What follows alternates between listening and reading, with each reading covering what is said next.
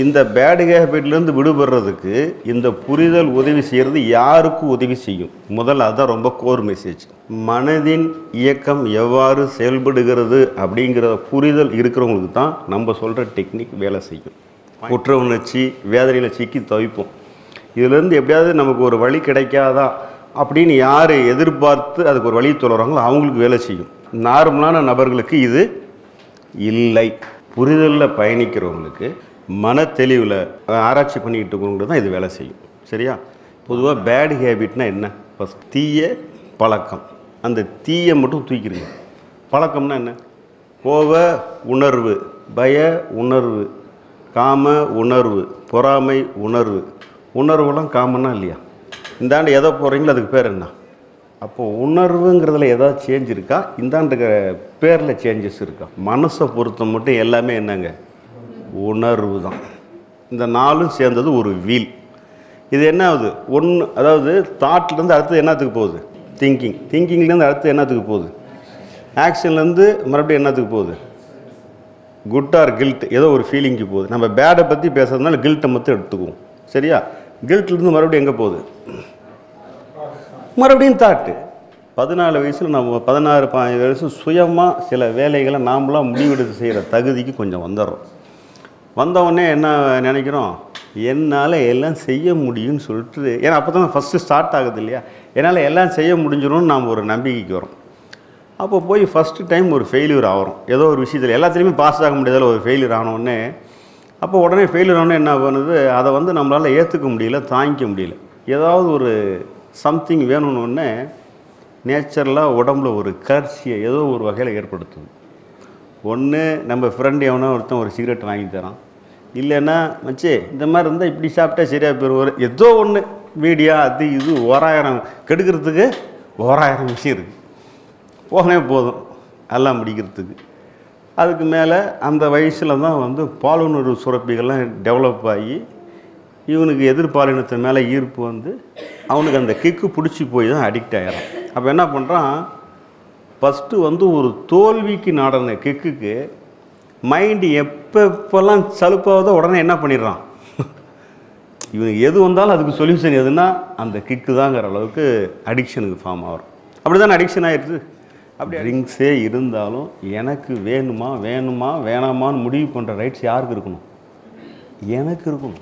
இப்போ இதில் நாம் எப்படி இந்த செயினில் சிக்கி மாட்டுறோம் எப்படி இதிலேருந்து விடுபட போகிறோம் அப்படிங்கிறது தான் கோர் மெசேஜ் பேடு ஹேபிட்டை நான் நேருக்கு நேர் நின்று என்னால் வெற்றி கொள்ள முடியுமா?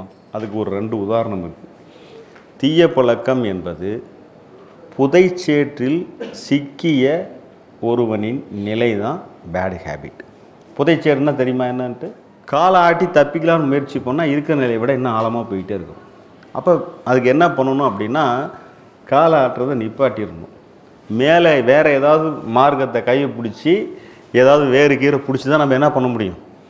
தப்பிக்கிறதுங்கிறது அப்படி தான் மைய முடியுமோ தவிர காலை ஆட்டி தப்பிக்கிறதுங்கிறது ஒருபோதும் சாத்தியமே கிடையாது. புதைச்சீட்டில் சிக்கி இருக்கிற நிலையில்.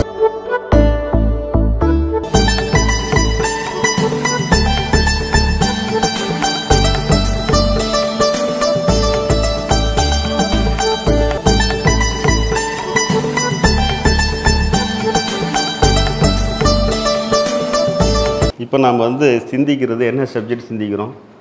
நல்லா எல்லாம் புரியுது. ஆனாலும் கூட இவ்வளோலாம் புரிஞ்சால் கூட இன்னும் இந்த பேட் ஹேபிட்லேருந்து என்னால் வெளியே வர முடியல. அப்படின்னு ஒரு பிரச்சனை நமக்கு இருக்கா இல்லையா? சரி எல்லாமே நல்லா புரியுது. ஆனாலும் கூட பேட் ஹேபிட்லேருந்து விடுபட முடியல. இதுக்கு இந்த புரிதல் எந்த அளவில் உதவி செய்கிறது? அப்படின்னு பார்க்குறது தான் நம்ம இன்றைக்கி எடுத்திருக்கிற முக்கியமான ஆய்வு. சரியா? இந்த பேடு ஹேபிட்லேருந்து விடுபடுறதுக்கு இந்த புரிதல் உதவி செய்கிறது யாருக்கு உதவி செய்யும்? முதல்ல அதுதான் ரொம்ப கோர் மெசேஜ் மனதின் இயக்கம் எவ்வாறு செயல்படுகிறது அப்படிங்கிற புரிதல் இருக்கிறவங்களுக்கு தான் நம்ம சொல்கிற டெக்னிக் வேலை செய்யும். பாயிண்ட் நம்பர் ஒன் இருக்கிற பேட் ஹேபிட்லேருந்து எப்படியாச்சும் நான் விடுபட்டால் பரவாயில்லன்னு நமக்கு ஒரு எண்ணம் இருக்கு இல்லையா? குற்ற உணர்ச்சி வேதனையில் சிக்கி தவிப்போம். இதுலேருந்து எப்படியாவது நமக்கு ஒரு வழி கிடைக்காதா அப்படின்னு யார் எதிர்பார்த்து அதுக்கு ஒரு வழி சொல்கிறாங்களோ அவங்களுக்கு வேலை செய்யும். மொத்தமாக அதுலேருந்து விடுபடணுங்கிற எண்ணம் இருக்கிறவங்களுக்கு தான் நாம் சொல்கிற பேட் ஹேபிட்லேருந்து விடுபடுற அணுகுமுறை உதவி செய்யும். அதெல்லாம் இல்லாமல் நார்மலாக சமுதாயத்தில் இருக்கவங்களுக்கு நாம் சொல்கிற டெக்னிக் பார்த்தா அவங்களுக்கு உற்சாக பானம் கொடுத்த மாதிரி இருக்கும். சொல்கிறது உங்களுக்கு புரியுதா? அதனால் இந்த அணுகுமுறையை யாருக்கு உதவி செய்யுங்கிறது தான் கொஞ்சம் ரொம்ப முக்கியமான ஃபார்முலா ஸோ அதை முதல்ல தெளிவாக புரிஞ்சுக்கணும். நார்மலான நபர்களுக்கு இது இல்லை. புரிதலில் பயணிக்கிறவங்களுக்கு மன தெளிவில் ஆராய்ச்சி பண்ணிக்கிட்டு இருக்கிறவங்களுக்கு தான் இது வேலை செய்யும். சரியா? இப்போ அந்த அணுகுமுறையில் இப்போ நம்ம அதில் வந்து போய் தான் இப்போ நம்ம கண்டுபிடிக்க போகிறோம் நம்ம பேடு ஹேபிட்டுக்கு இந்த புரிதல் எவ்வாறு உதவி செய்கிறது? விடுபடுவதற்கு அப்படிங்கிறத நம்ம பார்க்க போகிறோம் சரியா? பொதுவாக பேட் ஹேபிட்னா என்ன ஃபஸ்ட்டு தீய பழக்கம். அந்த தீயை மட்டும் தூக்கிடுங்க. பழக்கம்னா என்ன? சாப்பிட்றது. ஏதாவது அது மாதிரி ஏதோ ஒன்று டீ குடிக்கிறது. ஏதோ ஒன்று பழக்கம்னா அதுதானே. ஹேபிட்டு தான் பழக்கம். அதுக்கு முன்னாடி குட்டு போட்டால் குட் ஹேபிட்டு பேடு போட்டால் பேட் ஹேபிட் கோப உணர்வு. பய உணர்வு காம உணர்வு பொறாமை உணர்வு. உணர்வுலாம் காமனா இல்லையா? இந்தாண்டு எதை போகிறீங்களோ அதுக்கு பேர் என்ன? சொல்கிறது உங்களுக்கு புரியுதா? பொறாமை உணர்வு கோப உணர்வு பய உணர்வு வெறுப்பு உணர்வு அன்பு உணர்வு பாச உணர்வு. கரெக்டாக இருக்கா இல்லையா? என்ன சொல்கிறது கொடுக்குறது அந்த மாதிரி ஏதோ எத்தனை ஈகை உணர்வு எத்தனையோ இருக்குது இல்லை அப்போது உணர்வுங்கிறதுல ஏதாவது சேஞ்ச் இருக்கா? இந்தாண்ட பேரில் சேஞ்சஸ் இருக்கா? மனசை பொறுத்த மட்டும் எல்லாமே என்னங்க? உணர்வு தான். மனசில் வந்து கோபம் வெறுப்பு காமம் பொறாமை பயம்ங்கிறது எந்த கேரக்டரும் மனசில் தனியாக அதுக்கு எந்த ஐடென்டிஃபிகேஷன் அதுக்கு கிடையவே கிடையாது. சொல்கிறது உங்களுக்கு புரியுதா? மனசை பொறுத்த மட்டும் வெளிப்படுத்துறதுல அதுக்கு எந்த காம்ப்ரமைஸுமே கிடையாது. அறிவு ஆனால் அதுக்கு என்ன பேர் வைக்குது? சமுதாயத்தில் அதை வச்சு பயன்படுத்தி செயல் செஞ்சு அடி வாங்குறதுனால இதுக்கு பய உணர்வு இது கோப உணர்வு இது பொறாமை உணர்வு அப்படின்னு பேர் டிவைட் பண்ணிக்குது. அந்த மாதிரி ஹேபிட் இல்லாமல் நம்ம வாழவே முடியாது. ஹேபிட்டில் பிரச்சனை இல்லை. மனசை பொறுத்த மட்டும் ஹேபிட்டு தான். குட் பேடுங்கிறது எங்கே முடிவு பண்ணுது? அறிவு. புரிஞ்சுதுங்களா? இது புரிஞ்சுக்கிறது தான் இந்த இதுவும் அது ரெண்டுமே ஒரே டைமென்ஷனில் தான் செயல்படுது அப்போ ஹேபிட் இல்லாமல் வாழ முடியாது. அதில் பிரச்சனை இல்லை. குட் பேடில் சமுதாயத்தில் இதெல்லாம் தவறுன்னு சொல்லப்படுது. அதெல்லாம் பேட் ஹேபிட்னு சொல்லப்படுது. நல்லதுன்னு சொல்கிறத குட் ஹேபிட்னு சொல்லப்படுது. இவ்வளோதான் விஷயம். இப்போ இந்த ஹேபிட்டில் ஒரு ஹேபிட்னால் என்னவாக இருக்கும் அப்படின்னு பார்த்தீங்கன்னா நமக்கு முதல்ல என்ன வருங்க? நம்மளை அறியாமல் அன்கான்ஷியஸாக என்ன வரும்? தாட் ம். எண்ணம். வந்த எண்ணத்து மேலே நாம் என்ன பண்ணுவோம்? நம்மளுடைய செல்ஃப் கான்ட்ரிபியூஷன் முயற்சியை கொடுத்து நம்ம என்ன பண்ணுவோம்? திங்க் பண்ணுவோம். அதுக்கு பேர் சிந்திப்பு அப்படின்னு பேர். அதுக்கப்புறம் நம்ம என்ன பண்ணுவோம்? அதுக்கு வந்து வெளியில் ஏதோ ஒரு ஆக்ஷன் செய்வோம். கரெக்டாக அதுக்கப்புறம் என்ன பண்ணுவோம்? சமுதாயத்தில் அந்த ஆக்ஷன் அங்கீகரிக்கப்பட்டால் கலர் தூக்கி நான் தான் சூப்பர் அப்படிம்போம். அதுவே தப்புன்னா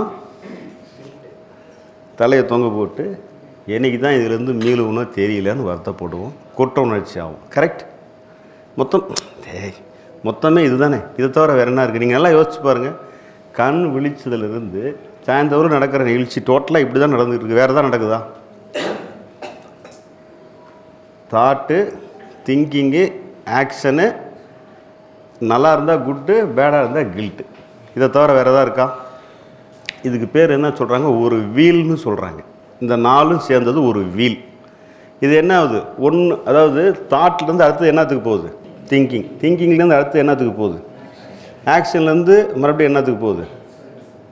குட் ஆர் கில்ட் ஏதோ ஒரு ஃபீலிங்க்கு போகுது. நம்ம பேடை பற்றி பேசுறதுனால கில்ட்டை மட்டும் எடுத்துக்குவோம். சரியா? கில்ட்லேருந்து மறுபடியும் எங்கே போகுது? மறுபடியும் தாட்டு வந்தான் சுட்டான் செத்தான் கதை தான் thought thinking action guilt thought thinking action guilt thought thinking action guilt செக்கு மாடு சுற்றுற மாதிரி நம்ம எதில் சுற்றிட்டு இருக்கோம்? இந்த நாள்லேயே தான் தொடர்ந்து நிற்காமல் சுழண்டுக்கிட்டே இருக்கிறோம். காலம் பூரா சுற்றினாலும் நம்ம எங்கே இருக்கிறோம்? இருக்கிற இடத்த விட்டு நகரவே இல்லை.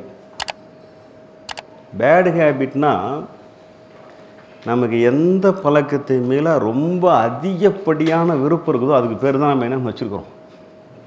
நம்மளால் விடவே முடியலையே. விடவே முடியல தானே? நல்லா இங்கெல்லாம் தெரியுது சார். அறிவுக்கெல்லாம் க்ளீனாக தெரியுது. தப்பு மிஸ்டேக்கு எல்லா வேக்கானம் விஞ்ஞானம் தெரியுது. சிகரெட் பிடிச்சா கேன்சரு அவனும் போட்டிருக்கான். இன்ஜூரியஸ் டு ஹெல்த்துன்னு ஆனாலும் வாங்கி அதை பற்றி சட்டையே பண்ணாமல் கம்னு தம் அடிக்கிறோம் அடிக்கிறோமா இல்லையா? மது வீட்டுக்கும் நாட்டுக்கும் கேடு. வச்சு இன்றைக்கி குவார்ட்டர் சொல்லுன்னு போய் உட்காந்து சாப்பிட்றோம். ரைட் மொத்தம் மூணே விஷயம் தான். அதோடைய டீவியேஷன் தான் மற்றது எல்லாம். மது மாது புகை. இதான் சொல்லுவாங்க இல்லையா? ட்ரிங்க்ஸு சிகரெட்டு செக்ஸ் செக்ஸுனா செக்ஸ் தப்புன்னு சொல்ல வேறு மாதிரியான இது வந்து தவறுன்னு சொல்லி சொல்கிறோம் நம்ம இதை மூணையுமே தான் இப்போ நாம் வந்து டிஸ்கஸ் பண்ண போகிறோம் இதை தவிர இதை இதை இதோடைய மாற்று வடிவம் தான் எதுவாக இருந்தாலும் வேறையாக இருக்குமோ தவிர வேறு ஒன்றும் இருக்க போகிறதில்ல கரெக்டாக அதனால் என்ன சொல்கிறேன் கொஞ்சம் நீங்கள் உங்கள் நிலையை ஒரு என்னது ஒரு பிஹெச்டி மாணவருக்கு பாடம் எடுக்கிற நிலையிலேருந்து நீங்கள் இந்த இதை வந்து ரிசீவ் பண்ணிக்கணும் உங்ககிட்ட தாழ்மையாக கேட்டுக்கிறேன். ஓகேவா இது வந்து சராசரியான மனிதர்களுக்கு கூறப்படக்கூடிய ஒரு ஐடியாலஜி இல்லை. ஃபஸ்ட்டு பேடு ஹேபிட்னா உண்மையில் என்னன்னு கேட்டிங்கன்னா நாம் அதிகமாக அதன் மேலே தான் விரு நம்மளுடைய விருப்பம் தொடர்ந்து அது மேலே நேர்முகமாகவும் மறைமுகமாகவும் எப்போ நம்ம எதை பற்றியே சிந்திச்சுட்டு இருக்கோம். பேடு பற்றி தான் சிந்திச்சுட்டு இருக்கோம். புரியுதுங்களா? இது எப்படி ஃபஸ்ட்டு ஃபார்ம் ஆச்சு அப்படின்னு நமக்கு தெரியணும்ல. நமக்கு வந்து ஒரு சின்ன வயசாக இருக்கும்போது நமக்கு எந்த பிரச்சனையும் இல்லை. இந்த பதினாலு பதினஞ்சு வருஷம் புதின் பருவம்னு பதின் பருவமோ புதின் பருவம்னு சொல்கிறோம்ல ஒரு அட ஒரு அடல்ட் ஏஜ் வர்றப்போ அப்போ தான் என்ன வளருது? அறிவு அப்போ தான் ஃபார்ம் ஆகுது. அது வரலும் வந்து அவங்களுக்கு வந்து அவங்க நேச்சுரலாக இருக்கிறதுக்கு பேர் என்ன ஸ்டேட்டு இன்னசன் ஸ்டேட் எதை பற்றியும் அவனுக்கு வந்து பிள்ளைங்க பூரா இப்போ அவங்களாம் வெளியில் இருக்காங்களா அவங்களாம் அறிவு வளர்ந்துச்சா? அறிவு இல்லைன்னு இல்லை. இந்த ரொம்ப டாமினேட் பண்ணுற அளவுக்கு அறிவு இல்லை. அவங்க பாட்டுக்கு என்ன பண்ணுறாங்க ஜாலியாக விளையாடிட்டு இருக்கிறாங்க. அவங்களுக்கு வந்து என்னென்னா அறிவு வந்து பேசிக்காக இவங்கெல்லாம் தேவை இவங்கெல்லாம் இருக்கணுங்கிற அறிவுக்கு அறிவு இருக்கும். மற்றபடி அறிவோட ஆளுமை வந்து நமக்கு இருக்கிற மாதிரி அவங்களுக்கு இருக்காது. அதனால தான் அவங்க என்ன பண்ணுவாங்க இப்போ அம்மாட்டையோ யார்கிட்டயோ வந்து கோச்சிட்டு நீங்கள் ஒரு அடியை வச்சா கூட காத்தால் அந்த பிள்ளைங்க அதெல்லாம் வச்சுக்கிட்டு வஞ்சமாக நினைக்குதா? அழுதுகிட்டே கூட நம்மளை கட்டி பிடிச்சிட்டு தான் இருப்போம் சொல்கிறத நீங்கள் பார்த்துருக்கீங்களா பிள்ளைங்களை அழுதுகிட்டே கூட நம்மளை கட்டி பிடிச்சிக்கிட்டு தான் அது அழுவும். அவங்களுக்கு அதுதான் அந்த இன்னசென்ட் புரியுதுங்களா? அவங்களுக்கு வந்து இந்த கன்னிங்னஸ்ஸே அவங்கக்கிட்ட இருக்காது. இன்னசென்ட்னாவே அதில் கன்னிங்னஸ்ன்ற பேச்சுக்கே இடம் கிடையாது. எங்கே கன்னிங்னஸ் வரும்? அறிவு தான் கன்னிங்னஸுக்கு பிரச்சனையே அறிவு தான். ஓகேவா அப்போ என்ன பண்ணுறோம் இதுலேயும் அதே மாதிரி தான் இந்த ஹேபிட்லேயும் அதே இந்த அறிவு தான் அறிவோட ஆளுமையினால தான் நம்ம அதை விடுபட முடியாமல் மாட்டிக்கிட்டு படாத பாடுபடுறோம். சரியா? இந்த அறிவு வளர்ந்தோடனே என்ன ஆகுது? பதினாலு வயசில் நம்ம பதினாறு பதினஞ்சு வயசு சுயமாக சில வேலைகளை நாமளாக முடிவெடுத்து செய்கிற தகுதிக்கு கொஞ்சம் வந்துடுறோம். வந்தவுடனே என்ன நினைக்கிறோம்? என்னால் எல்லாம் செய்ய முடியும்னு சொல்லிட்டு ஏன்னா அப்போ தான் ஃபஸ்ட்டு ஸ்டார்ட் ஆகுது இல்லையா? என்னால் எல்லாம் செய்ய முடிஞ்சிடும்னு நாம் ஒரு நம்பிக்கைக்கு வரோம் அப்போ போய் ஃபஸ்ட்டு டைம் ஒரு ஃபெயிலியர் ஆகிறோம். ஏதோ ஒரு விஷயத்தில் எல்லாத்துலேயுமே பாஸ் ஆக முடியாதால ஒரு ஃபெயிலியர் ஆனோடனே அப்போ உடனே ஃபெயிலியர் ஆனோடனே என்ன பண்ணுது? அதை வந்து நம்மளால் ஏற்றுக்க முடியல தாங்கிக்க முடியல. ஏதாவது ஒரு சம்திங் வேணும்னு நேச்சுரலாக உடம்புல ஒரு கர்ச்சியை ஏதோ ஒரு வகையில் ஏற்படுத்துது ஒன்று நம்ம ஃப்ரெண்டு எவனோ ஒருத்தன் ஒரு சிகரெட் வாங்கி தரான்.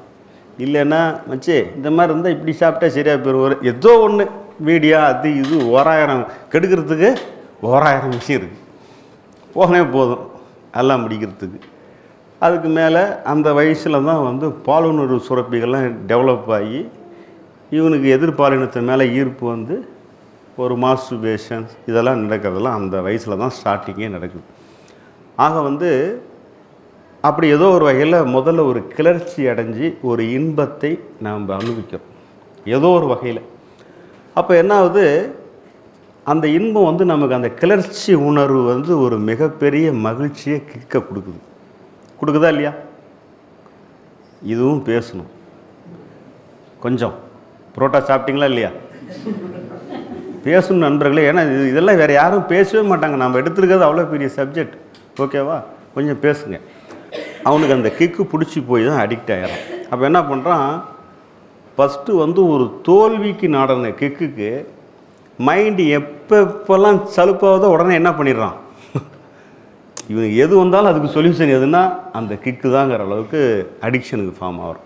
அப்படி தானே அடிக்ஷன் ஆயிடுது? அப்படி அடிக்ஷன் ஆகி தான் போய் அப்புறம் என்ன? டெய்லி ஒரு நாலு சிகரெட்டாவது அஞ்சு சிகரெட்டாக அடித்தா தான் ஃப்ரீ வாரம் ஒருக்கா ரெண்டு தடவையாவது நண்பர்களோடு சேர்ந்து பார்ட்டி கொண்டாடினா தான் மகிழ்ச்சி. அப்படி தானே ஃபார்ம் ஆகுது. நாம் நாம் கொஞ்சம் நல்லா இருந்தால் கூட மாப்பிள்ளை இன்னைக்கு வரேன் அப்படின்னு சொல்லி அவன் நமக்கு ஃபோன் அடிச்சிடும் நாமளே கொஞ்சம் நல்லா இருக்கலாம் கூட நம்மளை மைண்டை வீக் பண்ணுறது யார்? அதுக்கான நண்பர்கள் அதுக்கான வேலைகள் நடந்துடும் ஆக இப்படி நாம் சும்மா இருந்தாலும் ஒரு வீடியோ போடுவான் ஒரு யூடியூப் சேனலில் ஒன்று வரும் ஃபோனில் திறந்தால் ஏதோ ஒன்று வரும். நம்மளை இப்படி டைவர்ட்டாக பண்ணி கொண்டு போகிறதுக்கு ஏகப்பட்ட விஷயங்கள் இருக்குது. இப்போ நான் என்ன கேட்குறேன் இதையெல்லாம் நம்ம மாற்ற முடியுமா? சமுதாயம்னா இப்படி தான் இருக்கும். சிகரெட்டு தப்புன்னு யாருக்கு தெரியாது? நாட்டு கவர்மெண்ட்டுக்கு தெரியாதா? சிகரெட்டு இன்ஜூரியஸ் எழுத்துன்னு யார் விற்பனை பண்ணுறா கவர்மெண்ட்டு தானே விற்கிது ட்ரிங்க்ஸ் தப்புன்னு கவர்மெண்ட்டுக்கு தெரியாதா? கடை திறக்கிறது யார்? கவர்மெண்ட்டு தான். ஓகேவா அது மாதிரி இந்த நம்ம நாட்டில் இல்லை வெளிநாட்டில் செக்ஸுக்கும் அதே மாதிரி இருக்குது நம்ம ஊரில் இல்லை வெளிநாட்டில் இருக்குதுன்னு வச்சுக்கோங்க. ஆக இப்போ என்ன அப்படின்னு பார்த்தீங்கன்னா நாம் வந்து அதெல்லாம் மாற்றுறதோ சேஞ்ச் பண்ணுற வேலையெல்லாம் நமக்கு இல்லை. ட்ரிங்க்ஸே இருந்தாலும் எனக்கு வேணுமா வேணுமா வேணாமான்னு முடிவு பண்ணுற ரைட்ஸ் யாருக்கு இருக்கணும்? எனக்கு இருக்கணும். சொல்கிறது உங்களுக்கு புரியுதுங்களா? என்னுடைய கட்டுப்பாட்டில் எது இருக்கிறவர்களும் நான் தான் ரைட் அதோட கட்டுப்பாட்டுக்கு போனால் அதுக்கு பேர் என்னங்க? ஒரு புகைத்தலோட கட்டுப்பாட்டுக்குள் நான் சென்று விட்டலாம் அதுக்கு பேர் என்னங்க? அதுக்கு அடிக்ஷன்னு பேர்.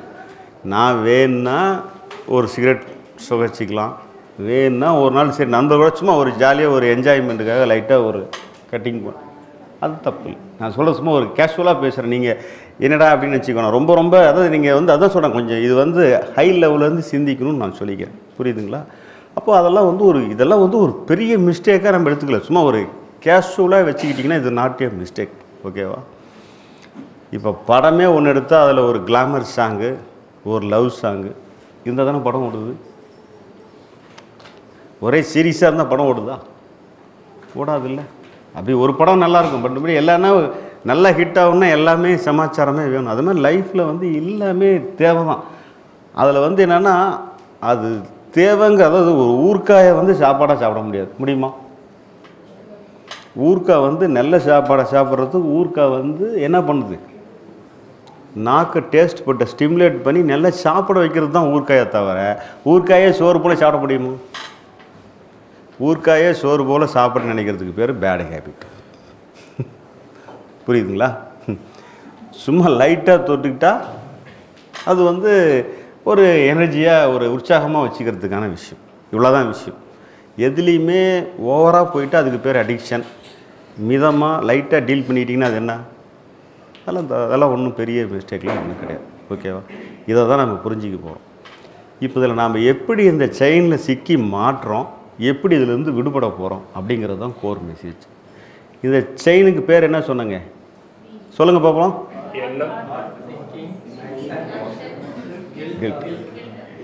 ஏன்னா நீங்கள்லாம் கற்பூரங்கிறது பளிச்சுன்னு தெரிஞ்சிருச்சு. ஏன்னா எல்லாமே தான் அப்படியே கப்பு கப்புன்னு பிடிப்பீங்கள்ல ஸோ இப்போ ஒன்றோட ஒன்று தொடர்ச்சியில் தான் இது என்ன பண்ணிக்கிட்டு இருக்குது தொடர்ந்து சுற்றிக்கிட்டே இருக்குது.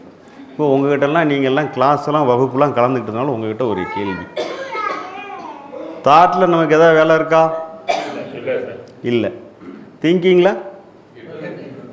ஒன்று ம். வெளியில் செயல் செய்கிறதுக்கு தேவைன்னு எடுத்து சிந்திச்சா அதுக்கு பேர் திங்கிங். இல்லைன்னா அதுவும் தாட்டு ஆக்ஷனில் நமக்கு வேலை இருக்கா இல்லையா?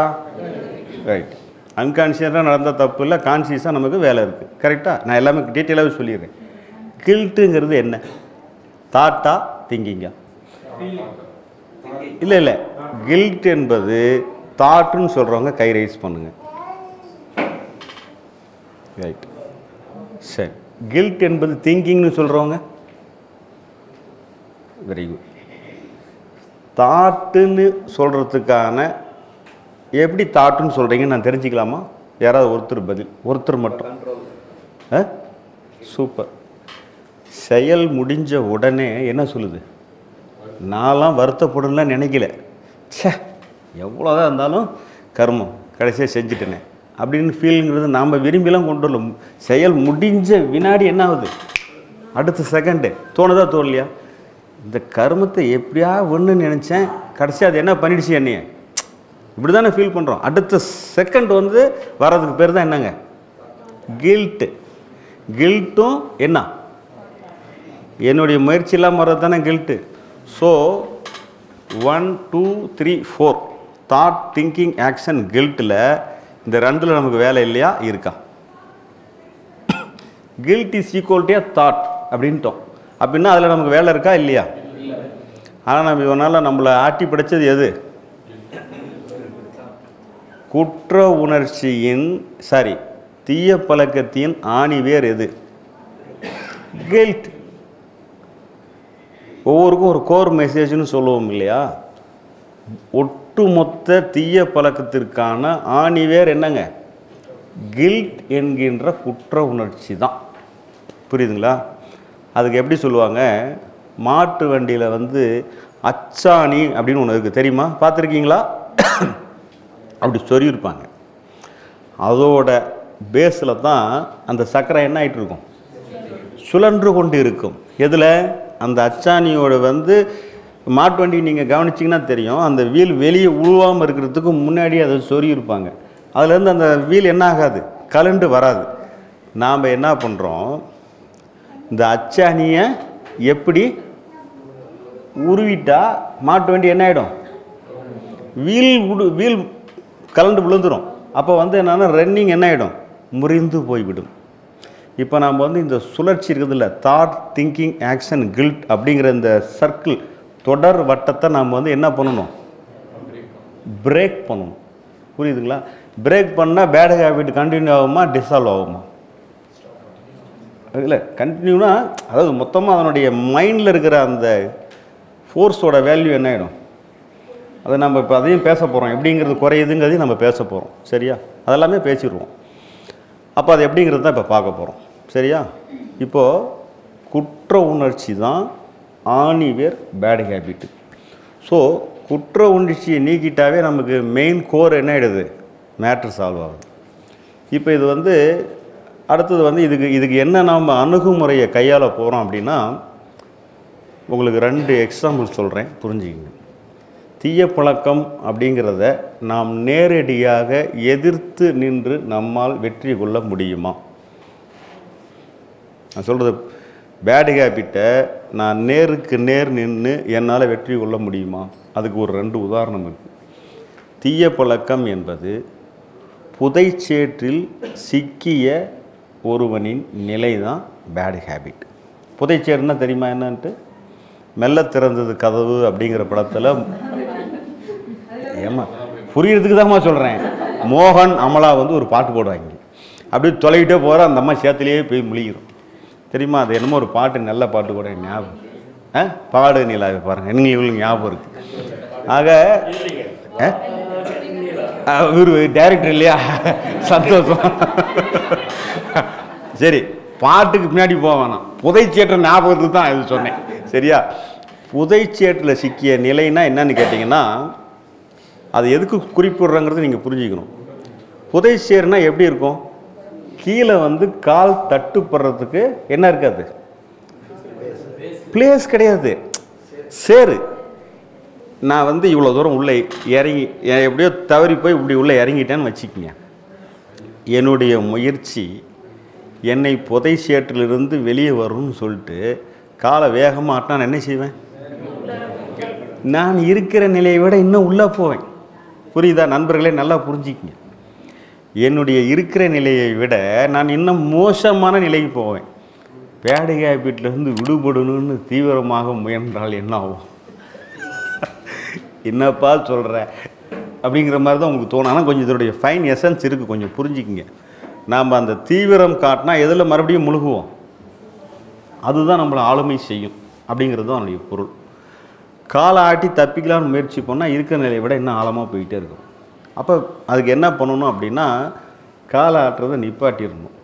மேலே வேறு ஏதாவது மார்க்கத்தை கையை பிடிச்சி ஏதாவது வேறு கீரை பிடிச்சி தான் நம்ம என்ன பண்ண முடியும்? தப்பிக்கிறதுங்கிறது அப்படி தான் மைய முடியுமோ தவிர காலை ஆட்டி தப்பிக்கிறதுங்கிறது ஒருபோதும் சாத்தியமே கிடையாது. புதைச்சீட்டில் சிக்கி இருக்கிற நிலையில். அப்படின்னா புரியுதா? சரி இந்த உதாரணம் தெளிவாக புரியுதா? இது உதாரணம் ஒன்று. உதாரணம் ரெண்டு என்னென்னா ராமாயணத்தில் வாலி அப்படின்னு சொல்லிட்டு ஒரு கேரக்டர் இருக்கார். அவருடைய கடவுள்கிட்ட வேண்டி அவர் ஒரு வரம் வாங்கியிருக்காரு. அந்த வரம் என்ன அப்படின்னா தன்னை எதிர்த்து யார் சண்டை போட்டாலும் நான் ஈஸியாக புரியுற மாதிரி சொல்கிறேன் நான் தான் வாலி. நீங்கள் எதிர்ப்புற இருக்கீங்க.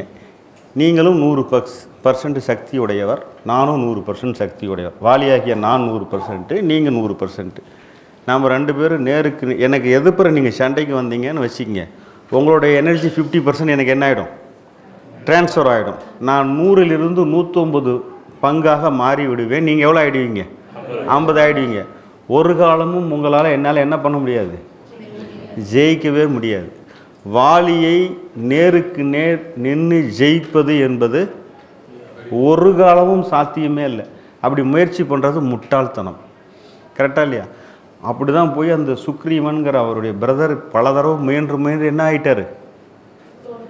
தோத்து தான் போனார். ஹெல்ப்புக்கு யாரை போய் கேட்குறாரு ராமச்சந்திரமூர்த்தியை. எனக்கு இந்த மாதிரி தொடர்ந்து நானும் ட்ரை பண்ணுறேன் என்னால் ஒன்றும் பண்ண முடியல. அப்போ ராமர் வந்து என்ன சொல்கிறாரு ஒரு டெக்னிக் ஏதோ ஒரு டெக்னிக் அவர் அவர் தான் டெக்னிக் தானே அவர் போகிறாமே டெக்னிக் தானே. ரா- ஸ்ரீராமர்னாவே எல்லாமே டெக்னிக் தான். அப்போ அவர் என்ன செய்கிறாரு ஒரு பெஸ்ட் ஐடியா கண்டுபிடிக்கிறாரு. ரெண்டு பேரில் யார் வெ வில்லு விடும்போது யாருன்னு கண்டுபிடிக்கணும் ஒருத்தருக்கு என்ன பண்ணுறாங்க மாலை போடும்போது அதில் ஐடென்டிஃபிகேஷன் யாருங்கிற அடையாளம் தெரிஞ்சிடும் நம்ம மறைஞ்சு நின்று யாரை குறிப்பாத்து விடணுமோ அவங்கள விட்டுறலாம் அப்படிங்கிறதுக்காக ஃபோக்கஸ் பண்ணிட்டு என்ன பண்ணுறாரு ராமருமே வாலியை நேருக்கு நேர் நின்று வதம் செய்யவில்லை. மறைந்து நின்று தான் தாக்குறார். புரியுதுங்களா? அதில் வந்து இந்த பட்டிமன்றத்தில் கேட்பாங்க அவர் ராமர் அந்த மாதிரிக்கு அங்கெல்லாம் போயிடாதீங்க நாம் பேடு ஹேபிட் சப்ஜெக்ட்டுக்கு மட்டும்தான் வரணும். அந்த ஆள்லாம் பேரக்கூடாது இதிகாசம் ஸ்டோரிக்கெலாம் உள்ளே பேரக்கூடாது இங்கே இது எப்படி? பேடு ஹேபிட்டும் வாலியும் என்ன?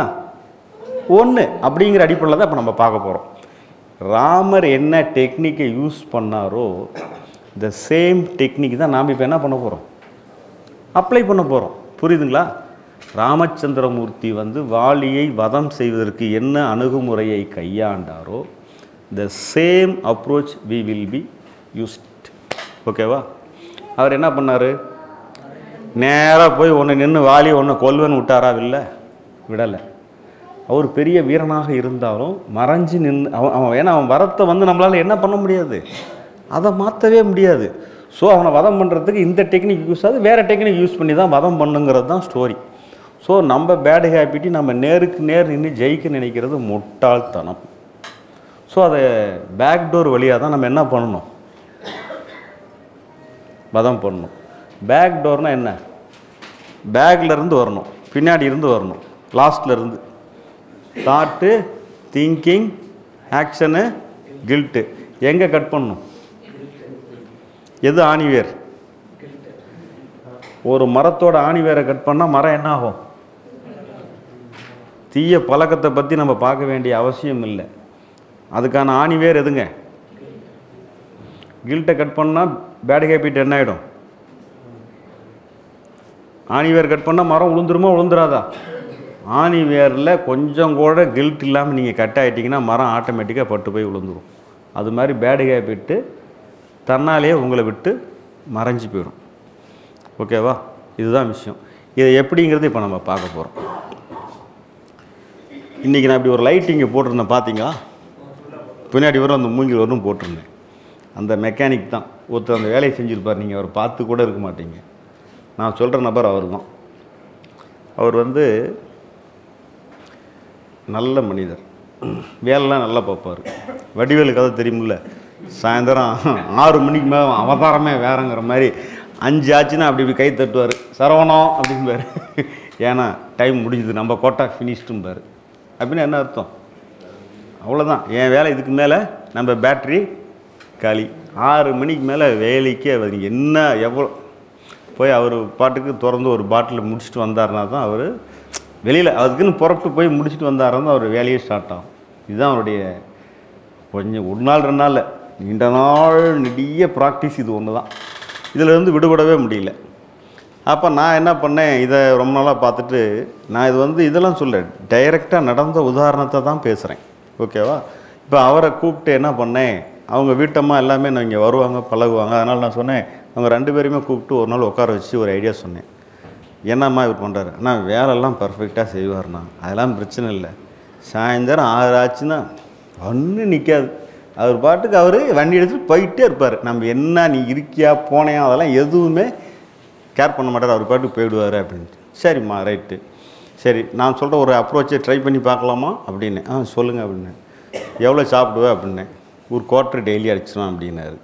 நான் நான் எவ்வளோ நேரம் பிடிக்கும்? அப்படின்னேன் கோட்டை அடிக்கிறதுக்கு எவ்வளோ நேரம் பிடிக்கும்? அப்படின்னேன் என்ன இவர் தனியாக போக மாட்டார். நண்பரோட போய் உட்காந்து அங்கேயே சாப்பிட்டு கிஃப்ட்டு முடிச்சுட்டு வர்றதுக்கு ஒரு ஒன்றரை ஒன்றரை மணி நேரம். சாப்பிட்றதுல கொஞ்சம் நேரம் தான். இதுக்கு செட்டு சேர்த்து ஜமா சேர்த்துறது தான் பெரிய வேலை. இப்படி தான் ஓடிட்டு இருந்தது. ஆக அங்கே போயிட்டு சும்மா ஒரு பத்து பதினஞ்சு நிமிஷம் சாப்பிட்றதுக்கு இவ்வளோ அளப்பறி. இவ்வளோதான் நான் நான் இனிமேல் அவரை வெளியே அனுப்பிச்சி விடாத. வீட்லேயே வீட்லேயே வாங்கி நீயே அவருக்கு வந்து டெய்லி ரெண்டு லார்ஜு ஊற்றி கொடுத்துரு. சாப்பிட்டுட்டோம் நல்ல சாப்பாடை நீயே போட்டு கொடுத்து. நான் சொல்கிற முயற்சியை கையில் எடுக்கலாமான்னு கேட்டேன். சொல்லுங்கன்னு டெய்லி ரெண்டு ஆம்லெட்டு நிறைய ஆனியன் போட்டு பக்காவாக கொடுத்துரு. ஃபஸ்ட் நம்பர் ஒன் வீட்டில் சேர்க்குற சாப்பாடே செஞ்சு வச்சிரு. சாயந்தரம் அவர் அது இல்லாமல் அவர் இன்னொன்று என்னன்னு கேட்டிங்கன்னா இளையராஜாவோட ஃபேன் எப்போ பார்த்தாலும் தன்னே தான் அப்படியே ஒரு அப்படியே அப்படியே அப்படி ஒரு அப்படியே ரிதமேட்டிக்காகவே தான் இருப்பார். நிறைய பேர் நீங்கள் அப்படி இருக்காங்க. பார்த்தீங்கன்னா உங்களுக்கு தெரியும்.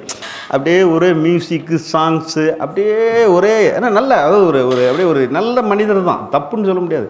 நல்லா அப்படியே பாடல்கள்லாம் அப்படியே ஒரே ரசிச்சு ஜாலியாக என்ஜாய் பண்ணி பா பாடி பாடுவார். அப்படியே வேலை செய்யும்போதே அப்படியே ஒரே தன்னே அப்படியே தான் இருக்கும்னு வச்சுங்க ஆனால் எல்லாம் ஆறானா எல்லாம் கழட்டு போயிடும். நான் என்ன சொன்னேன்? நீ முடிச்சுட்டு போயிட்டு ஆறரை மணிக்கு நல்லா நீட்டாக போய் வீட்டில் ஒரு குளியல் போட்டு ஃப்ரெஷ்ஷாக உட்காரு சாமி கும்பலாம் கும்பிட்டு ஜம்முன்னு உட்காரு இப்போ நீ என்ன பண்ண போகிற ரெண்டு லார்ஜை நாற்பது நிமிஷம் தியானம் செய்து குடிக்க வேண்டும். சொன்னோம்ல கண்ணை மூடி உதட்ட மூடி ஒரு சிப்பு வச்சு நல்லா ரிங்ஸ் பண்ணி மகிழ்ந்து சாப்பிடு. கூட சாப்பாடெலாம் வச்சுக்க. பேக்ரவுண்டில் இளையராஜா சாங்ஸ் போட்டுக்கோ.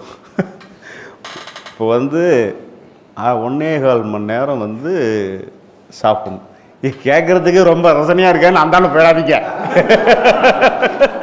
இது ரொம்ப வேற மாதிரி இருக்கே அப்படின்னு பேரக்கூடாது. ஹேபிட் இருக்கிறவங்களுக்கு இப்படி யூஸ் பண்ணிக்கன்னு ஒரு ஐடியா ஓகேவா இது சொல்கிறதெல்லாம் பார்த்தா போய் ஆரம்பிச்சிடும் போக மாட்டேங்குதுங்கிற மாதிரி போயிடக்கூடாது சரியா? ஆக அப்படி ஐடியா கொடுத்த உடனே அவருக்கு என்னாச்சு? வீட்டம்மாவே ஃபுல் சப்போர்ட் மனுஷன் சாப்பிட ஆரம்பிச்சாப்புல. அப்படியே என்னாச்சுன்னா அந்த ஒரு தீவிரத்தன்மை வந்து ஏன்னா இப்போ நல்லா சாப்பிட்டுக்கோ. திவ்யமாக வீட்லேயே சாப்பிடு. சொல்லிட்டேன். எங்கேயும் அங்கேயும் அலப்பறப்படக்கூடாது. சாப்பிட்டு நல்லா போட்டு காத்தால் நேரமாகிடுச்சு என்ன பண்ணியிருந்தோம் வேலைக்கு போயிரு. அப்படின்ட்டேன். ஆறரை ஏழு மணிக்கெலாம் வந்து வேலை பார்ப்போம்ல பதினோரு மணிக்கு அப்படி இல்லை ஆறு மணிக்கெல்லாம் போய் கூட கிணத்துல இறங்கி மோட்டர் செய்கிறது எல்லா வேலையும் நல்லா ஹார்ட் ஒர்க்கர் நல்லா வேலை பார்ப்பார். நாலு பிள்ளைகள். மூணு பிள்ளைகளும் கல்யாணம் பண்ணிட்டாப்புல. இங்கே வந்த ஒரு ஆறு ஏழு வருஷத்துக்கு முன்னே காசே கிடையாதுங்க. எப்போ பார்த்தாலும் காசு இல்லை காசு இல்லை காசு இல்லை. ஏன்னா எல்லாம் பூ- வர்ற காசு பூராயுமே என்னோட அந்த அம்மாவுக்கு ஒரு நூறுரூவா நூற்றம்பது ரூபா தர மாட்டாப்புல. பூரா அழைச்சிருவார். இப்படியே இருந்தது. அப்போ நான் சொல்லி இப்போ டெய்லி வாங்குறது ஃபுல் தான். ரெண்டு ஃபுல் வாங்கி வச்சுட்டா காலியானா அடுத்தது வச்சுக்கிறது. இப்படி ஒரு ஒரு ஐடியாலஜி கொடுத்து நல்லா தான் வாங்கி சாப்பிட விஜயகாந்த் சொல்லுவார்ல வானத்தை போல படம் பார்த்தீங்களா? குடிக்கிறதும் குடிக்கிற பஞ்சு வச்ச சிகரெட்டை குடிக்க சொல்லுன்னு தம்பி சொல்லுவார்ல பார்த்தீங்களா அந்த காமெடி பார்த்துருக்கீங்களா இல்லையா? இப்போ பாத்ரூமில் புகை புகையாக போகும். அந்த பொண்ணு மீனாவா? அவங்க ஏதோ வருவாங்க. என்னங்க அப்படிம்பாரு. குழந்தனார் தான் ஏதோ இப்போ தம் அடிக்கிறாரு அப்படின்னு சொல்லுவாங்க. குடிக்கிறதும் குடிக்கிறான் பஞ்சு வச்ச சிகரெட்டை வாங்கி குடிக்க சொல்லுங்கள் அந்த மாதிரி. அப்புறம் வந்து இவர் என்னாச்சு இவர் அப்படியே ஃப்ரீ ஆகி ஆகி ஒரு ஆறு மாதம் எட்டு மாதத்துலேயே பார்த்தீங்கன்னா அவர்கிட்ட இருந்து அவ்வளோ ஒரு தீவிரத்தன்மை ரெடியூஸ் ஆகிடுச்சு பொறுப்பாக காசு சேர்த்த அதாவது அந்த சொல்லிட்டேன். நீ காசு வச்சுருக்காத. காசு யார்கிட்ட கொடுத்துரு? வீட்டுக்காரங்கிட்ட கொடுத்துரு. அவங்க ஆற நூறாக ஆக்கி சிக்கனமாக செஞ்சு வேலையை செஞ்சுருவாங்க நீ காசு அவங்ககிட்ட கொடுத்துரு அப்படின்னு. சம்பாதிக்கிற காசு எங்க கொண்டு போய் கொடுத்துட்டாப்புல. வைஃப்கிட்ட கொடுத்துட்டாங்க. மூணு குழந்தைகளுக்கு திருமணம் செய்து முடித்து விட்டார். ஏழு ஏழு பவுன் போட்டு.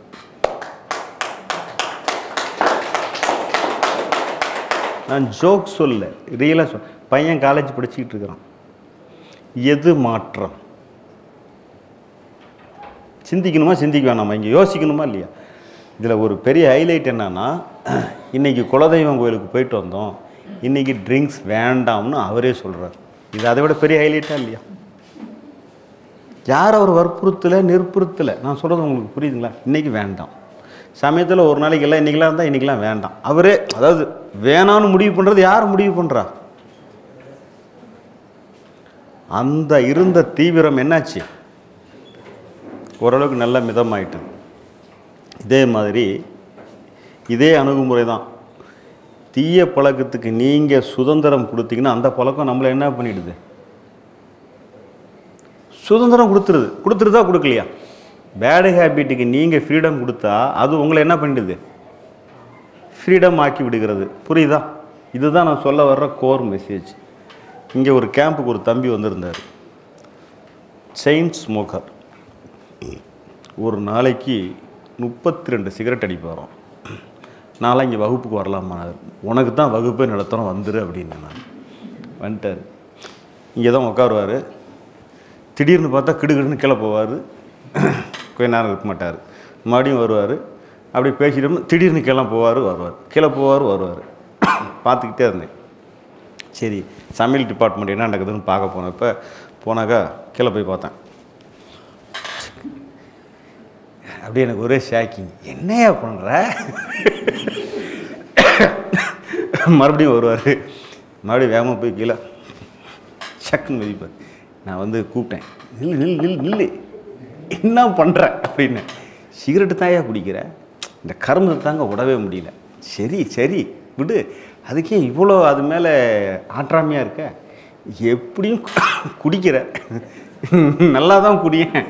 அதில் என்ன பிரச்சனை அப்படின்னு சொன்ன வாட்டி இதுதான் சார் என்னுடைய பெரிய பிரச்சனையே இப்படி தான் சரி எப்படி சாப்பிடுவேன்? என்ன பண்ணுவேன்? அப்படின்னு கேட்டேன். ஒரு நாளைக்கு முப்பத்தி ரெண்டு சிகரெட் குடிப்பேன் அப்படியா? ஒரு நாளைக்கு மொத்தம் இருக்கிறது எத்தனை மணி நேரம்? இருபத்தி நாலு மணி நேரம். கணக்கு சொல்கிறேன் இதில் வந்து எட்டை கழிங்க தூங்குறதுக்கு. போக மீதி இருக்கிறது பதினாறு. பதினாறில் முப்பத்தி ரெண்டுனா ஒரு அரை மணி நேரத்துக்கு ஒருக்கா ஒரு தம் அடிச்சே ஆகணும். நீ என்ன பண்ணுறையோ பண்ணலையோ எவரி ஆஃப் அன் ஹவர் ஒரு தம் போட்டாகணும் இதுதான் அவருடைய நிலவரம். ரைட்டா? நான் என்ன சொன்னேன்? அவருக்கு ஒரு ஐடியா. நம்ம மெத்தடாலஜி சிகரெட்டை இனிமேல் தியானமாக நீ குடிக்க வேண்டும். இவருக்கு என்ன சொன்னேன்? இதையும் கேட்டுட்டு இனிமேல் இப்படி குடிக்காதவங்க ட்ரை பண்ணிடாதீங்க. அணுகுமுறை.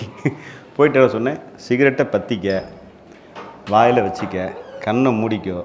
அப்படியே டீப்பு பஃப் அப்படியே இழுத்து அப்படியே ரிதமேட்டிக்காக மூக்கில் வந்து அப்படியே ஒரு மெலோடியஸ் சாங் மாதிரி புகை போகணும் செய்யலாமா? அப்படின்னு. அப்போ வந்து உச்சபட்சமாக ரகி ரசித்து குடித்து முடி. எல்லாத்தையும் ஒரு ப்ரைவேட் பிளேஸில் வச்சு அதாவது ஒரு டிஸ்டர்ப் இல்லாமல் ஒரு அமைதியான சூழலில் வச்சு சிகரெட் குடி. இங்கே வந்து போதும்னு எப்போ ஃபீல் பண்ணுதோ அப்போ தான் நம்ம என்ன பண்ணணும்? ஆஃப் பண்ணணும். அது வரல நீ வந்து சிகரெட்டை ஸ்மோக் பண்ணு. தப்பு இல்லை எப்போ வந்து உனக்கு இங்கே போதும்னு தோணுதோ அப்போ என்ன பண்ணிடலாம் ஆஃப் பண்ணி முடிச்சுது. அது வரல அதுக்கு எந்த தடையும் விதிக்காத அப்படின்னு சொன்னேன். குடிக்கிறத இப்படி குடி அப்படின்னு சொல்லியாச்சு. என்ன பண்ணார்? சரின்னு அவர் கூட உட்காந்து நான் டெமோ பார்த்தேன். நண்பர் அப்படி தான் குடித்தார் மூன்றையோ மூணே முக்கால் சிகரெட் கண்டினியூவாக தேவைப்பட்டுச்சு. ஃபஸ்ட் டைம் அமிச்சிட்டார். ஒரு பெரிய மிராக்கிள் என்னன்னா எவரி ஆஃப் அன் ஹவருக்கு கொடுக்க வேண்டிய சிகரெட் என்னாச்சு? முதல்ல எடுத்தது மூன்றரை சிகரெட்டு ஆனால் அடுத்தது எவ்வளோ நேரம் தேவைப்படல. அரை மணி நேரத்துக்கு ஒருக்கா குடித்தவர் ஒன்றரை மணி நேரம் சிகரெட்டே எடுக்கல. அடுத்த ஒன்றரை மணி நேரம் கழித்து குடிக்கும்போது மூன்றரை சிகரெட்டு தேவைப்படல. எவ்வளோ தேவைப்பட்டுச்சு? மூணு. போதும். இனிமேல் சிகரெட்டை இப்படி மட்டும் குடி அப்படின்னு சொல்லியாச்சு.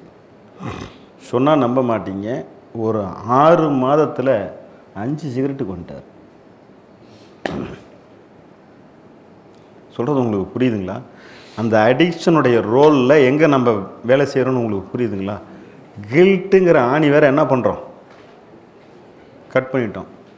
எப்படியும் விட முடியல. இங்கே தெரிஞ்சு தான் நடக்குது. தெரியாமலாம் நடக்குது அறிவுக்கு தெரியாமையோ எனக்கு தெரியாமலாம் எந்த பழக்கமும் நடக்குது எல்லாம் நல்லா வில்ஃபுல்லாக தெரிஞ்சு தான் நடக்குது. ஆனாலும் என்னால் என்ன பண்ண முடியல? விட முடியல. புரியுதுங்களா? இதுதான் பிரச்சனை. இப்போ ரெண்டுக்கு சொல்லிட்டோம். இப்போ என்ன அப்படின்னா இப்போ நம்மளால் இந்த அடிக் இதில் இருந்து இப்படித்தான் விடுபட முடியுமோ? அதாவது என்ன சொன்னோம்ல புதைச்சேற்றில் சிக்கிய ஒருத்தனுடைய மனநிலையும் வாலியை நேரடியாக வதம் செய்ய நினைக்கிறது முட்டாள்தனமாக இல்லையா? அது மாதிரி பேடு ஹேபிட்டை நேரடியாக ஜெயித்து விடுவேன்னு நினைக்கிறது என்னங்க? முட்டாள்தனம். புரியுதுங்களா? அதுக்கு சுதந்திரம் கொடுக்கறது ஒன்றின் வழியாக மட்டும்தான் நாம் அதிலிருந்து என்ன பண்ண முடியும்? விடுபட முடியும். அதனால தான் இது சொன்னால் யாருக்கு இது உதவி செய்யுன்னு சொன்னோம்? புரிதலில் பயணிக்கிறவங்க இந்த பழக்கத்திலிருந்து மீண்டு வெளியே வர வேண்டும் என்கின்ற முனைப்பு யாருக்கு இருக்குதோ அவங்களுக்கு தான் இது வேலை செய்யும். புரியுதுங்களா? இதே போல தான் ஒரு சைக்காலஜிக்கல் டாக்டர் பிஹெச்டி பண்ணவர் சைக்காலஜிக்கல் படத்தில். அவருமே வந்து கோல்டு மெடலிஸ்ட்டு வெளிநாட்டிலாம் போய் படிச்சுட்டு வந்திருக்காரு. படிச்சுட்டு வந்தவர் என்ன ஆச்சு அப்படின்னா கேஸ்லாம் பார்த்தீங்கன்னா ரொம்ப டிஃப்ரெண்ட்டாக அப்ரோச் பண்ணக்கூடிய அளவுக்கு நல்ல ஒரு மனிதராக இருக்கிறாரு. அவருக்கு என்ன பண்ணுறாங்க கடுமையான ப்ராக்டிஸ் காத்தால ஆரம்பிச்சுன்னா சாயந்தரம் வரலும் கண்டினியூவாக கேஸ் டேக்கிங் போயிட்டுருக்கு. அப்புறம் அவர் என்ன பண்ணுறாங்க அவருக்கு வந்து இந்த மெடிக்கல் கம்பெனி வந்து அவருக்கு உங்களுக்கு ரிசர்ச் நாங்கள் ம மருந்தை பற்றி சொல்கிறோன்னு சொல்லி மொரீசியஸ் கூட்டிகிட்டு போகிறாங்க போன இடத்துல இந்த ஆய்வு கட்டுரை எவ்வளோ நேரம் சப்மிட் பண்ணுவாங்க? சும்மா ஒரு டூ ஹவர்ஸ் மீதி சுற்றி பார்க்கறது சாயந்தரம் டிஸ்கோத்து ட்ரிங்க்ஸு அப்படி இப்படின்னு டாக்டர் வந்து வேறு லெவலுக்கு ஒன்று கூட்டிகிட்டு போய் காமிச்சிட்டு கூப்பிட்டு வராங்க. டாக்டர் ஒரு மூணு நாள் ஒரே வழக்கமாக இங்கே ஒரே கேஸு கேஸு மனநிலை பாதிக்கப்பட்டவங்க இப்படியே பார்த்துக்கிட்டு இருந்தவருக்கு அது வந்து பயங்கரமான ஒரு ரிலாக்ஸேஷன் ஒரு வித்தியாசமான என்ஜாய்மெண்ட் ஆகிடுது மொரீசியஸ்லேருந்து இங்கே வந்துட்டார். மைண்ட் எங்கே இருக்குது மொரீசியஸ் மொரீசியஸ் தான் அப்படிங்கிற. ஏன்னா ஒரு பெரிய ஒரு கிக்கான எக்ஸ்பீரியன்ஸ் அதனால் என்ன சொல்கிறாரு மொரீசியஸ் மொரீசியஸ் தான் அப்படின்ட்டு இருக்காரு அப்புறம் வந்து இன்னுமே எந்த மருந்து கம்பெனிக்காரனாவது கூப்பிடுவானா? அப்படின்னு இவர் பார்க்குறாரு எவனும் கூப்பிடல. சொல்கிறது உங்களுக்கு புரியுதுங்களா? அவன் எந்த இதுக்கு ஆய்வுக்கே அவன் கூப்பிடலை. அப்புறம் என்ன பண்ணுறாரு அவன் என்ன கூப்பிட்றது? நானே போயிட்டு வரேன்னு சொல்லி இவராகவே புக் பண்ணி ஒருக்கா போயிட்டு வர்றாரு. அப்புறம் என்ன ஆகுது? சரி இனிமேல்ட்டு நம்ம வந்து சண்டே எல்லாம் நமக்காக ஒரு நாள் வச்சுக்குவோன்னு சொல்லி சண்டே ஈவினிங் வந்து நமக்குன்னு சொல்லி ட்ரிங்க்ஸ் ஆரம்பித்து ஜாலியாக விதவிதமாக சாப்பிட்றாரு. அப்புறம் சண்டே பூரான்னு ஆரம்பிக்கிறார். அப்புறம் என்ன ஆகுன்னு உங்களுக்கே தெரியும். வாரத்தில் ரெண்டு நாள் மூணு நாள் அப்புறம் தினம்னு போய் நைட்டு கோர்ட்டு போடாமல் தூங்குறது இல்லைங்கிற கண்டிஷனுக்கு ஆகிட்டார் அவர் வந்து மனோதத்துவ டாக்டர் அறிவுலாம் ரொம்ப ஸ்கில் பர்சன் பக்காவாக இருக்கார். பட் ஒரு பெரிய கொடுமை அவருக்கு என்ன பிரச்சனை அப்படின்னா காத்தால் பேஷண்ட்டுக்கு ட்ரிங்க்ஸிலிருந்து விடுபடுறது எப்படின்னு அவருக்கு கிளாஸ் எடுக்கணும்.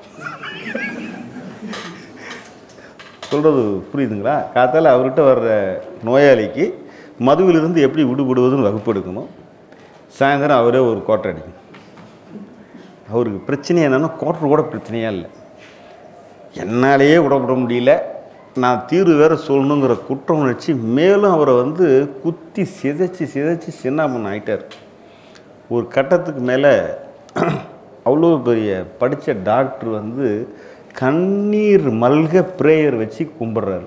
யூடியூப்பில் தொலவும் போது தான் பகவத் ஐயாவோட தீய பழக்கத்திலிருந்து விடுபடுவதை ஃபஸ்ட் டைம் பார்க்குறாரு. அன்னைக்கு வந்து ஏதோ ஒரு ஹனுமன் ஜெயந்தி அப்படின்னு அவர் சொன்னார். அன்னைக்கு தான் அந்த வீடியோவை தற்செயலாக அவருக்கு கிடைக்குது. பார்க்குறாரு. பார்த்துட்டு அப்புறம் அது என்னன்னு பார்த்துட்டு அப்புறம் கொஞ்சம் எல்லாம் படிச்சுட்டு கவலை தீர்வு புக்கெல்லாம் வாங்கி படிச்சுட்டு என்கிட்ட கூட ரெண்டு மூணு முறை பேசினார். நான் இதே தான் சொன்னேன். தாட் திங்கிங் ஆக்ஷன் கில்ட்லாம் சொன்னோடனே டாக்டர் வெரி ஹாப்பி அவர் வந்து இன்றைக்கி அவங்க இது நோயாளிகளாக வர்றவங்களுக்கு இதை தான் அவர் வந்து சொல்யூஷனாக சொல்கிறார் அவர் சொன்ன விஷயம் என்னவாக இருந்துச்சுன்னா எந்த சைக்காலஜிக்கலையும் சொல்லாத ஒரு மாபெரும் பொக்கிசத்தை பகவத்தையா கண்டுபிடிச்சிருக்காரு. ஏன்னா எந்த சைக்காலஜிக்கலும் இப்படி ஒரு தீர்வே சொல்லப்படலை. சொல்கிறது உங்களுக்கு புரியுதுங்களா? இது இதுக்கான சொல்யூஷன் எந்த சைக்காலஜிக்கல் புக்லேயும் கிடையாது. புரிதல் மூலியமாக பேடு ஹேபிட்லேருந்து விடுபடுவதற்கான வாய்ப்பு இருக்குது அப்படிங்கிறத எந்த சைக்காலஜிக்கல் புக்கும் தெரிவிக்கவில்லை. த ஃபஸ்ட் டைம் பகவத் ஐயா தான் சொல்லியிருக்கார். அவர் அதை புரிஞ்சுக்கிட்டு அவர் என்ன பண்ணுறாரு அந்த அடிக்ஷன்லேருந்து படிப்படியாக மீண்டு வெளியவே வந்து நல்ல பக்காவாக ஆயிட்டார். அவர் அடிக்கடி ஐயாட்ட கூப்பிட்டு மனப்பூர்வமாக தன்னுடைய நன்றிகளை சொல்கிறது வழக்கம். இப்பயுமே அவர் சொல்லிட்டு தான் இருக்கேன் எப்பயோ ஒருக்கா ஃபோன் பண்ணி வந்தால் இங்கே ரெண்டு மூணு தடவை வந்துட்டு கூட போயிருக்கிறாங்க பேசியிருக்கிறாங்க. தன்னை யாரும் சொல்ல வேணாம்னு சொன்னதுனால அவர் பேரை நான் வெளியே சொல்ல விரும்புகிறேன் ரைட் ஓகேவா இது எதுக்கு சொல்ல வரேன்னா அவங்க எவ்வளோ ப்ரொஃபஷனாக இருக்கலாம். இப்போ நம்ம லைட்டு போட்ட அவருக்கும் டாக்டருக்கும் என்ன வித்தியாசம்? சொல்கிறது உங்களுக்கு புரியுதுங்களா? லை இப்போ ஹேபிட்டில் நின்னா நீ படிச்சிருந்தாலும் அதே கதை தான் ஒன்றுமே படிக்கலனாலும் அதே கதை தான் புரியுதுங்களா? ஆக ரெண்டு பேருக்கும் நம்ம அணுகுமுறை வேலை செய்யுது. என்ன அணுகுமுறை? இப்போ இந்த பேடு ஹேபிட்டையே எப்படி பார்க்கணும் அப்படிங்கிறது என்னென்னா நாம் வந்து தாட்டை எப்படி பார்க்குறோம்? எண்ணத்தில் நமக்கு வேலை இல்லை. கில்ட்டில் நமக்கு வேலை இல்லை. தீய பழக்கத்தை நேரடியாக எதிர்த்தாலும் மறைமுகமாக வேண்டாம் என்று எதிர்த்தாலும் நாம் எதை பற்றி பிடிச்சிக்கிட்டே இருக்கிறோம்? தீய பழக்கத்தை தான் பற்றி பிடிச்சி நீங்கள் வந்து எனக்கு வேணும் அப்படின்னு பற்றி பிடித்தாலும் இதிலிருந்து எப்படியாவது மீளணும் அப்படின்னு நினச்சிங்கனாலும் எதை நீங்கள் மையமாக வச்சு சோசிச்சுக்கிட்டே இருக்கீங்க? தீய பழக்கத்தை தான் வச்சுக்கிட்டு இருக்கீங்க. புரியுதுங்களா? அப்போ சிந்தித்தல்ங்கிற அடிப்படையிலுமே எதுவும் வந்து மையமாக இருக்குது? அந்த பேட் ஹேபிட்டே தான் மையமாக இருக்கிறதுனால கிட்டத்தட்ட அந்த இதுக்கு கிக்கு ஆரம்பிக்கிறதுக்கு தூண்டுதலாக இருக்கு. இப்போ இப்போ ஒருத்தர் ட்ரிங்க்ஸே வேணான்னு இருக்கிறாருன்னு வச்சுங்க இப்போ தான் முடிச்சு தலையெல்லாம் வலிச்சு ஓரளவுக்கு வராரு. இனிமேல்ட்டு இந்த கருமத்தை தொடரதில்லைன்னு இருக்காரு திங்கக்கிழமை காத்தான ஞாயிற்றுக்கிழமை முடிச்சுட்டு. திங்கிழமை சாயந்தரம் முல்லை போகுது. இனிமேட்டு இதை சாப்பிடவே கூடாதப்பா. அப்படியே அந்த செவ்வாய்க்கிழமை அதுலேருந்து கொஞ்சம் வீக்காக வர்றார். புதன்கிழமை இன்னும் வீக்காகி சரி விட அந்த பிராண்டு வேணாம் இந்த தடவை வேறு பிராண்டுக்கு போயிடலாம்னு புதன் வேலையிலேயே மாறிடுறாரு. ஆக்சுவலாக வந்து நம்ம எதையோ ஒன்று மாற்றி மாற்றி அதுதான் ஜெயிக்குமே தவிர நாம் என்ன ஆயிடுறோம்? தோற்று போயிட்டு தான் இருக்கிறோம். ஸோ நம்ம நேரடியாக அதை ஜெயிக்க முடியாது. கில்ட்டிலிருந்து விடுபட்டிங்கன்னா இந்த இந்த எதை சொல்கிற ராமர் யூஸ் பண்ண சேம் டெக்னிக் மறைந்து நின்று தாக்குதல் தான் அதுக்கான தீர்வு. குற்ற உணர்ச்சியிலிருந்து நீங்கள் முழுவதுமாக குற்ற உணர்ச்சி ஒரு எண்ணம் அப்படிங்கிறத நீங்கள் தெளிவாக புரிஞ்சிக்கிட்டு எப்படி மாட்டு வண்டியில் அச்சாணி உருவுனா டோட்டலாக அது கொடைசாஞ்சி அந்த இயக்கம் முறிந்து விடுகிறதோ அதே போல் இந்த பேட் ஹேபிட்டுங்கிற மரத்துக்கு ஆணி வேர் வந்து கில்ட். அதை கட் பண்ணிட்டீங்கன்னா பேடு ஹேபிட்ன்றது டோட்டலாக டெஸ்ட்ராய் ஆகிடும் மறைஞ்சிரும். அதை நீங்கள் வந்து இதை எடுத்த நிலையில் ட்ரை பண்ண முடியாது. கொஞ்சம் கொஞ்சமாக உங்கள் வாழ்க்கையில் ட்ரை பண்ணி தான் இந்த மாற்றத்தை கொண்டு வரணும். சரியா? இதுதான் இதுக்கான கோர் மெசேஜ் Thank you.